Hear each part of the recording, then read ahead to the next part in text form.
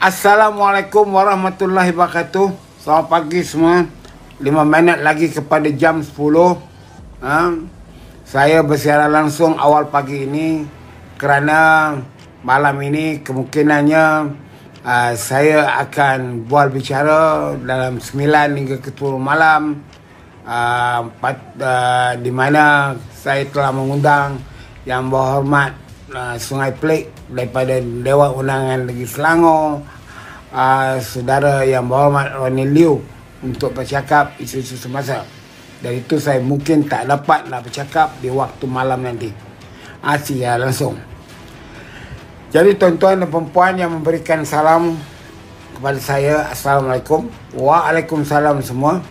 Kita telah pun mendengar berita bahawa pilihan raya negeri Melaka eh, diadakan ha, sebagai satu pilihan demokrasi dan juga perlembagaan di mana 17 kursi yang uh, menunjukkan kerajaan Melaka empat menarik diri jadi tinggal 13 dengan sendirinya kerajaan itu sudah hilang majoriti dalam membuat keputusan di Dewan Undangan Negeri Melaka.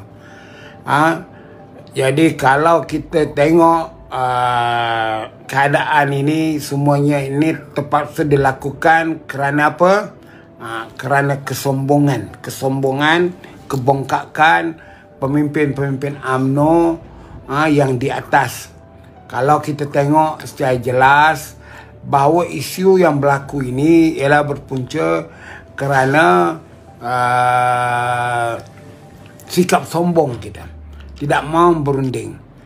Kalau kita tahu bahawa intelijen ha, risikkan maklumat cakap dengar uh, perkara-perkara gosip. Ha, sebenarnya di zaman milenium ini tidak boleh lagi dipandang remeh ataupun di ignore saja. Kita kena ambil uh, pemerhatian dan juga kena membuat kajian ha, kepada isu-isu uh, yang menjadi perkara yang tidak nyata. Ini bukan berita palsu. Ini ialah gosip politik, tulisan, pendengaran yang kita kena dengan kopi. Jadi dari itu antara punca kegagalan UMNO ini ha, dalam ketiadaan UMNO tidak berkuasa ini sebenarnya uh, maklumat peringkat negeri, peringkat bahagian dan juga di peringkat tertinggi parti khasnya UMNO yang main peranan ialah ketua penerangan. Ketua penerangan ini ialah badan intelijen. Sebab kita jangan lantik ketua penerangan main suka hati kita tanpa mengkaji latar belakang orang yang nak dilantik jadi ketua penerangan UMNO bahagian atau ketua penerangan UMNO Malaysia atau ketua penerangan Badan Perhubungan dia mesti seorang yang mempunyai kriteria yang boleh membantu parti antaranya ialah menyiapkan laporan-laporan mingguan atau bulanan ha, khasnya daripada laporan laporan risikan. Dulu UMNO memerintah jadi kerajaan mudah. Kita gunakan agensi kerajaan special branch jasa dan sebagainya. Tapi sekarang UMNO dah tak ada lagi kerajaan ha, hanya kita jadi Perdana Menteri tetapi tidak menyeluruh menguasai kerajaan secara solo. Dari itu untuk mendapat maklumat maka kita perlu untuk uh, mencari maklumat itu sendiri untuk diproses. Jadi isu kita di sini apa jadahnya ketua penerangan di Melaka ha, di mana kita sedia maklum ha, setiap bahagian ada ketua penerangan ha, dalam cawangan ada ketua penerangan. Jadi apa ketua penerangan ini buat? Inilah patutnya tugas ketua penerangan membuat laporan bertulis ha, kepada pucuk pimpinan parti apa gosipnya yang dia dengar apa perbualan di kedai kopi yang dia dengar apa yang orang marah terhadap UMNO ini yang dia dengar. Jadi dalam isu uh, percakapan-percakapan politik yang dilakukan oleh empat orang adun ini jelas bahawa dia telah memberikan isyarat lama sudah terhadap ketidakpuasan hatinya termasuk soal ha, susah berurus dengan ketua menteri seolah-olah di Melaka ada lagi ketua menteri yang lain yang perlu dirujuk oleh ketua menteri ha, bukan rujuk kepada TYT kepada seorang lagi. Jadi ini melihatkan bahawa ketua menteri Melaka itu tidak independen tidak ada kebebasan. Ha, tidak mutlak menjalankan tugas berdasarkan perlembagaan. Seorang menteri besar mempunyai bidang kuasa yang luas ha, yang mana termaktub dalam perlembagaan negeri.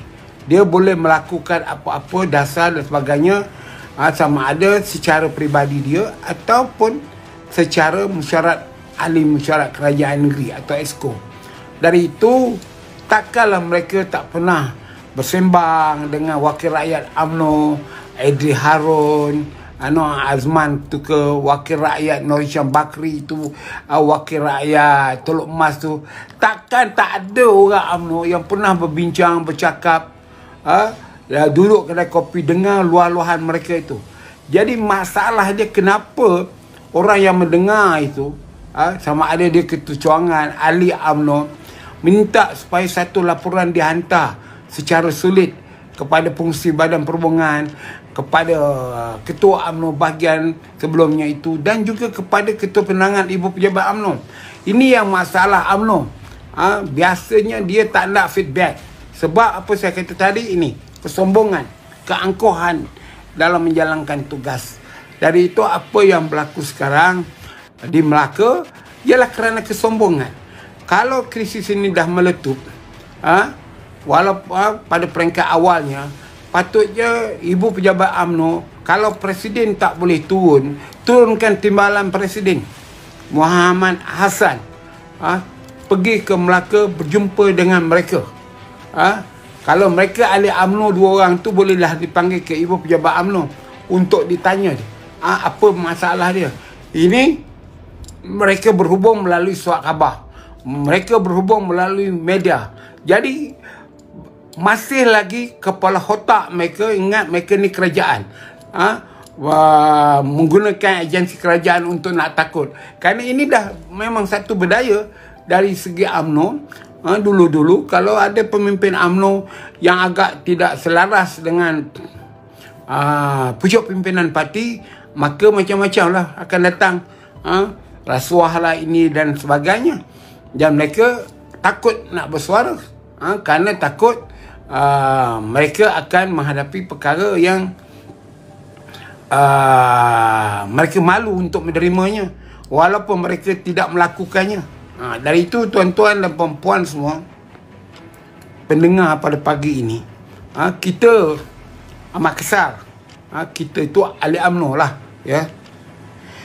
Ha, terhadap tindakan kemudian itu pula dengan sombongnya bebarkan Dewan Undangan Negeri ha, sekarang dah bubarlah Dewan Negeri apa faedah dia ha?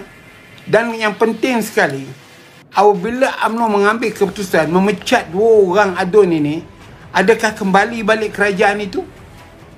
Jadi saya nak bagi tahulah dengan pemimpin AMNO. Sama ada di Melaka, di mana-mana lah. Kamu semua orang ni jangan sombong. Jangan kepala besar sangat. Fikir masak-masak. Ha, kerana kamu ni tidak berada memikirkan soal masa depan negara. Kamu memikirkan tompolok kamu. Ha, kekayaan yang mereka yang kamu dapat dari berjuang dalam AMNO. Kamu tak memikir pasal dia. Ha? Jadi sekarang kita pecat dua orang. Apabila pecat dua orang, maka kita uh, kehilangan dua orang adun di Melaka. Kita itu UMNO ya. UMNO hilang uh, dua adun di dapat memerintah ke? Dah pecat dua orang ni. Dari itu sabar dulu. Uh, kalau kita lihat format Kuala Lumpur uh, federal uh, ada yang tarik, ada yang tak tarik uh, untuk sokongan pada Maiden tak ada pula UMNO nak ambil tindakan. Takut pula dia. Jadi, saya nak cakap dengan pemimpin UMNO lah. Otak kamu jangan otak macam kepala boot ya. Ha? Otak jangan macam kepala boot. Ha, saya tak lengkapkan ayat tu. Ha? Mencarut tu. Ha? Sebab saya pun orang Melaka asalnya. Ya? Mak, bap, mak bapak saya ha? tinggal di Melaka. Tanam pun di Melaka ya. Jadi saya nak bagi tahu pemimpin AMNO jangan berfikiran kepala but hanya untuk nafsu ha? asal nak nak legakan ha? kepala but kamu saja. Ha?